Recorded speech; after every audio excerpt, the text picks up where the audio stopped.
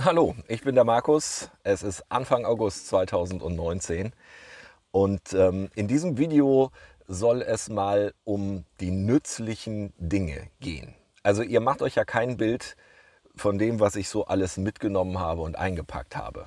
So für den Fall der Fälle und so. Ich weiß nicht, wie, wie euch das geht, wenn ihr mit dem Camper unterwegs seid oder vielleicht auch mit Auto und Dachzelt. Ähm, also ich neige dazu, eigentlich viel zu viel mitzunehmen. Und in diesem Video soll es aber genau um die Sachen gehen, die extrem, also zumindest für mich, extrem unverzichtbar sind. Und ich möchte euch einfach nur mal so eine, eine Top 10, vielleicht sind sogar ein paar Sachen mehr. Ich habe hier eine kleine Euro-Kiste, da ist das alles drin und ähm, ja, also es sind, sind eher so, so kleine Sachen, die aber sehr, sehr nützlich sind.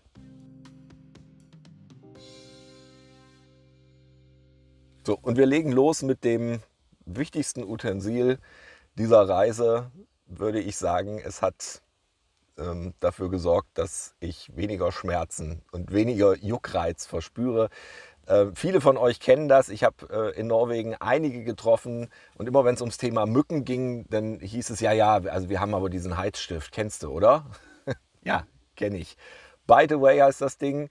Ähm, da ist vorne so eine kleine Keramikplatte drin und die wird warm und ihr habt zwei Knöpfe da drauf. Der eine Knopf ist äh, drei Sekunden heizen, der andere ist sechs Sekunden heizen. Und wenn ihr dann irgendwo einen Stich habt, heute Nacht hatte mich irgendwo was gestochen, jetzt habe ich es aber, weiß ich nicht mehr, aber ich mache es einfach, dann drückt ihr drauf, dann piept es einmal, dann wird die Platte heiß.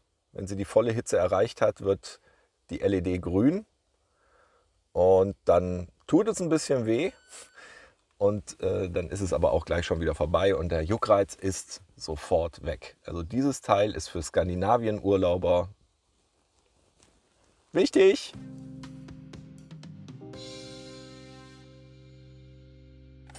So, das, was ich immer dabei hatte, ist diese Flasche. Also ich habe auch diesen, diesen Emsa Thermobecher Halbliter Variante.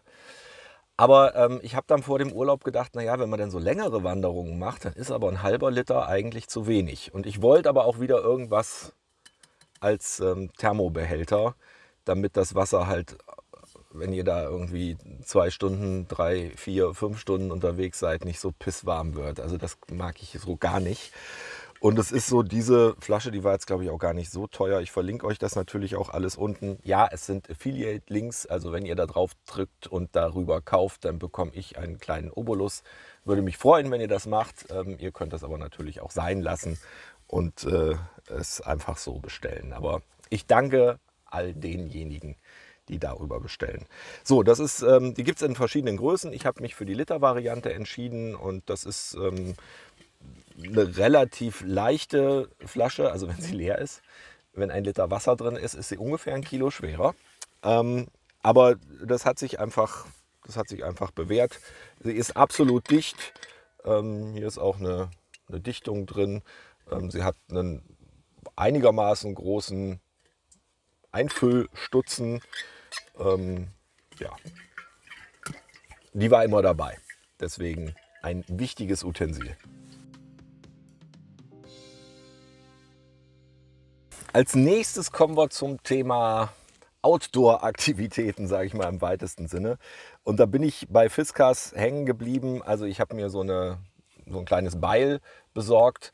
Ähm, extrem cool, extrem scharf und die Rückseite lässt sich auch als Hammer benutzen. Also wenn ihr irgendwie welche Heringe einschlagen wollt. Und das ist so 2 in 1 und hat wirklich eine gute Qualität. Dann ähm, wenn ihr ein bisschen was fürs Lagerfeuer sägen wollt, dann empfiehlt sich so eine klappbare Säge, sehr, sehr scharf. Ähm, ihr kommt schnell durchs Holz durch, kostet irgendwie 8 Euro oder noch nicht mal. Ähm, ja, hat sich auch bewährt. Ich, ihr wundert euch vielleicht, warum die so sauber ist. Äh, der Pelle hatte auch eine dabei. Wir haben seine genommen. So, und äh, was natürlich nicht fehlen darf, manchmal muss man halt mal im Wald gucken, ob man da nicht ein kleines Loch graben möchte. Und ähm, dieser Fiskars Klappspaten, der kann was. Also das hat sich wirklich bewährt. Ähm, extrem stabil. Damit könnt ihr wirklich ein Loch machen und es danach auch wieder zukippen.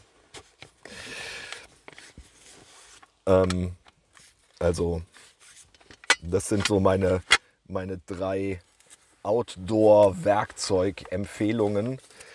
Und ähm, was ich auch noch empfiehlt, ist halt irgendwie so ein Multitool, ähm, so ein Leatherman oder von Victorinox äh, das Teil. Ähm, ich habe die beide. Äh, das von Victorinox finde ich so ein bisschen robuster. Das habe ich immer in der Arbeitshose. Äh, und der Leatherman ist sehr viel leichter.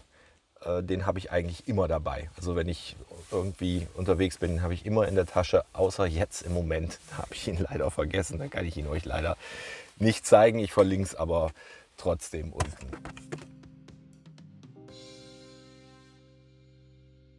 So, dann kommen wir zum Thema Licht und da möchte ich euch gerne drei Sachen zeigen.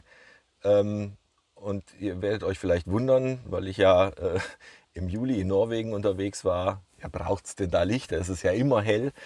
Ähm, ja, eigentlich habe ich es ähm, tatsächlich erst auf der Rückreise gebraucht. Also wenn ihr dann wieder weiter nach Süden fahrt ja, und so Ende Juli, dann wird es dann äh, so rund um Göteborg, wo ich dann mit der Fähre nach äh, Frederikshafen gefahren bin, dann nachts doch dunkel. Und wenn ihr dann irgendwie im Auto was suchen wollt oder euch ein bisschen orientieren oder nochmal rings ums Zelt äh, schauen wollt, habe ich denn alles eingepackt, dann ist äh, eine Taschenlampe einfach unverzichtbar.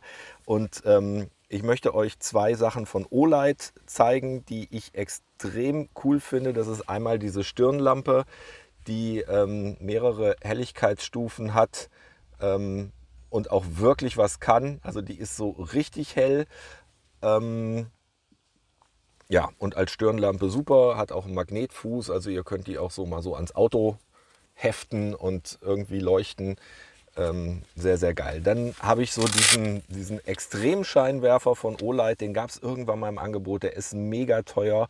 Ich habe, glaube ich, nur 130 Euro oder so bezahlt. Da gab es einen Gutschein und es war irgendwie Prime Day oder so.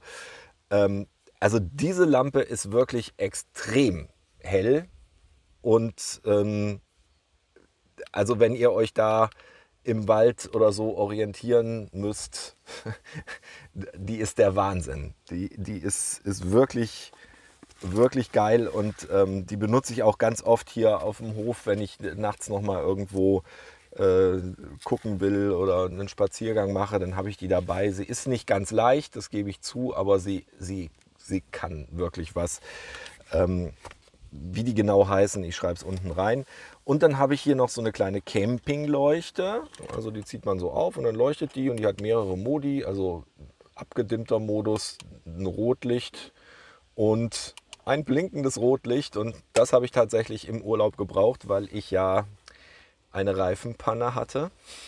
Da werde ich in, einem, in meinem Flop-Video, werde ich darüber äh, noch sprechen. Das wird äh, aber noch ein paar Wochen dauern, bis das kommt. Und da habe ich die halt einfach so als ähm, Pannenabsicherung hingestellt. Äh, aber wie gesagt, so als ähm, Tischleuchte, wenn ihr so am Campingtisch sitzt und so, ist die auch ganz toll. Die hat auch Magnete unten. Ähm, es ist so ein kleiner Karabiner dabei, dann könnt ihr sie halt irgendwie auch aufhängen. Und es ist halt äh, Powerbank? Und es sind richtig Akkus verbaut, also nicht irgendwie so ein Ding mit Batterien.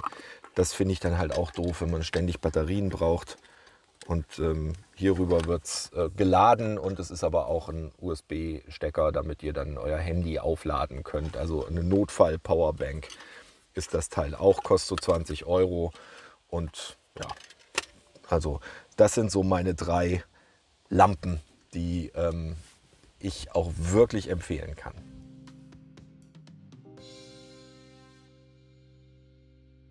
Kommen wir zu diesem Kissen.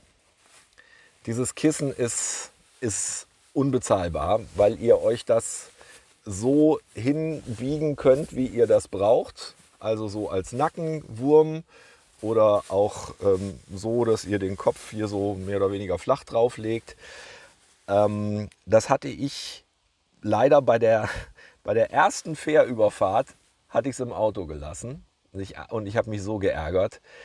Das hätte echt geholfen. Und äh, bei der Rückfahrt von Göteborg nach Frederikshafen, da hatte ich mir das dann aber hinten am Kamerarucksack einfach so ne, mit einem Riemchen festgemacht. Und ähm, ich habe dann auf irgendeinem so Treppenabsatz eine Stunde gepennt und konnte halt wirklich so dieses Kissen nutzen. Und das ist, also ich habe echt gut geschlafen. Also obwohl ich ja nun auf, es war Teppich, aber mehr oder weniger harter äh, Boden gelegen habe. Und ähm, auch wenn ihr so mal im Auto, also als, als ich auf die Fähre gewartet habe, da habe ich dann auch im Auto äh, so ein bisschen gedöst und das Ding so an der Scheibe. Also dieses Kissen ist ist wirklich geil. Also das muss auf einer Reise eigentlich wirklich mit dabei sein. Das ist ein Handtuch. Es ist noch nicht gewaschen. Ich bin echt noch nicht dazu gekommen. Nachher noch. Und zwar ein Mikrofaserhandtuch. Ich habe lange überlegt, ob ich das Geld ausgeben will. Die sind nicht ganz billig. Und ähm, habe dann aber mich erinnert an meinen Trip im März nach Dänemark, wo es so viel geregnet hat und so extrem windig war. Und mit einem normalen Handtuch, das trocknet nie. Und das fängt dann irgendwann an zu muffeln. Und diese Mikrofaserdinger, die hängt ihr 10 Minuten in den Wind und dann sind die wieder trocken. Das ist, das ist echt toll. Also ich muss ganz ehrlich sein, ich mag es nicht, mich damit abzutrocknen. Das, da finde ich ein normales Handtuch einfach schöner.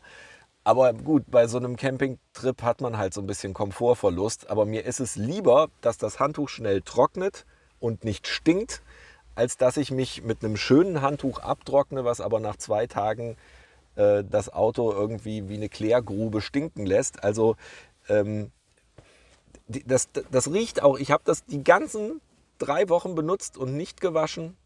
Und das, das riecht nicht. Also es ist wirklich faszinierend. Also ich würde sagen, so ein Mikrofaserhandtuch ist für so einen Campingtrip eigentlich ein Muss. Ich glaube, über diese Tabletten habe ich auch schon mal geredet. Das ist so ein Antibakterien-Zeug, was man in den Wassertank macht. Und ich hatte ja jetzt seit März ununterbrochen Wasser in diesem Tank. Jetzt haben wir Anfang August. Ähm, und da war kein Belag im Tank, kein Knutzel, Gedöns, irgendwas. Also diese Tabletten wirken äußerst gut. Und ich habe es jetzt auch in Norwegen festgestellt. Der Pelle, der hatte so einen einfachen Wasserkanister dabei. Und das hat in der zweiten Woche irgendwie angefangen zu kippen, dieses Wasser. Und zu muffeln.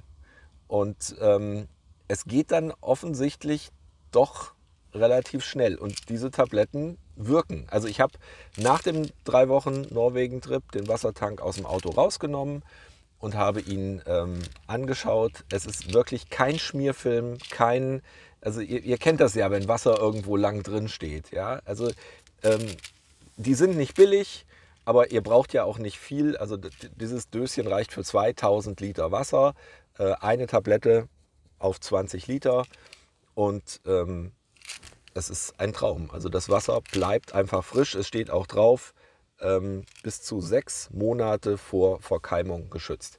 Wichtig ist, ihr müsst keimfreies Wasser einfüllen. Also ihr könnt jetzt nicht irgendwie aus einer Pfütze Wasser in euren Tank einfüllen und so eine Tablette reinschmeißen.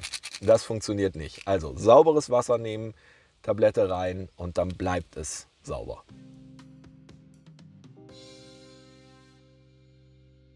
Kommen wir zum Thema Wanderschuhe. Ich nehme an, also wenn ihr nach Skandinavien fahrt, vor allen Dingen nach Norwegen, dann werdet ihr auch das eine oder andere Mal zu Fuß unterwegs sein, zu schönen Orten, zu schönen Wasserfällen, zu wo auch immer hin. Und ähm, jetzt werdet ihr denken, warum redet der über diese Wanderschuhe? Also, es war relativ kurz vorm Urlaub und ich hatte auch keine Lust mehr in die Stadt zu fahren und habe gedacht, nee, scheiße, ich brauche noch Wanderschuhe. Und dann habe ich die bei Amazon bestellt. Aufgrund der sehr, sehr, sehr, sehr vielen positiven Bewertungen. Und die geben sogar eine Anti-Blasen-Garantie. Ja, da hängt so ein Kärtchen dran. Anti-Blasen-Garantie. Und ich habe halt gedacht, naja, das ist halt äh, Werbegeschwätz. Ich habe diese Schuhe nicht eingelaufen. Und also ich glaube, ihr kennt das. Wenn ihr neue Schuhe über langen Zeitraum anhabt, dann kriegt ihr ja manchmal sogar bei Straßenschuhen irgendwelche Schwielen und Blasen an die Füße. Diese Dinger sind echt der Hammer. Die, die sind so geil, ähm, wasserdicht und es gab tatsächlich keine Blasen. Und wir haben schon auch längere Trips gemacht. Und wie gesagt, nicht eingelaufen die Dinger. Ja, neu und das erste Mal in Norwegen angehabt. Also ähm, irgendwas um die 150 Euro. Aber ich bin extrem begeistert davon. Also ich habe es mir nicht vorstellen können, aber all die positiven Bewertungen haben einfach recht.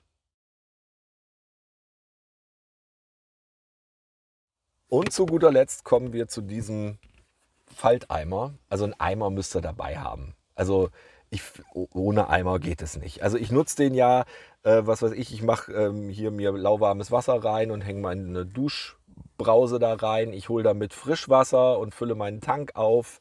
Ähm, hier waren sogar die gefangenen Fische drin, ähm, bevor sie dann lecker in die Pfanne kamen. Ähm, und als Spülschüssel nutze ich ihn tatsächlich auch, ähm, wenn ihr ihn nämlich dann äh, so klappt, dann ist das eine wunderbare Spülschüssel. Und er ist nicht teuer und er nimmt vor allen Dingen nicht viel Platz weg. Also ich könnte in meinem Auto keinen echten Eimer unterbringen, der da irgendwo rumsteht. Das geht einfach nicht. Und dieses Teil, das passt irgendwo zwischen, irgendwo drauf. Ähm, ich weiß jetzt nicht, wie lange diese Silikon-Dinger halten. Also ich habe den jetzt ein halbes Jahr und er ist einige Male auf und zu gemacht worden. Aber selbst wenn das Ding irgendwann kaputt geht, ich würde mir wieder so einen Eimer holen. Äh, das ist einfach echt mega praktisch. So, das waren meine Highlight-Produkte sozusagen, die ich äh, in diesem Urlaub oft benutzt habe und die ich sehr, sehr empfehlen kann. Ähm, ich verlinke euch das alles unten. Nochmal der Hinweis, es sind Affiliate-Links, also wenn ihr darüber kauft, dann bekomme ich einen kleinen Kickback-Betrag und ähm, ihr bezahlt aber nicht mehr. Also ich freue mich, wenn ihr das tut. Ich sage vielen Dank. Ich hoffe, es hat euch ein bisschen inspiriert und ein bisschen weitergeholfen. Und bis bald.